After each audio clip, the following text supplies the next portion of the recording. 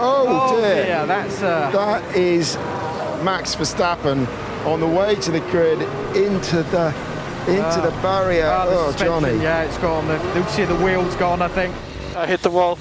Uh, copy, Max. I just have to say, incredible work, guys. That's unbelievable. Thank you very much. Uh, unbelievable indeed. Great coordination there on the front of his car. And I think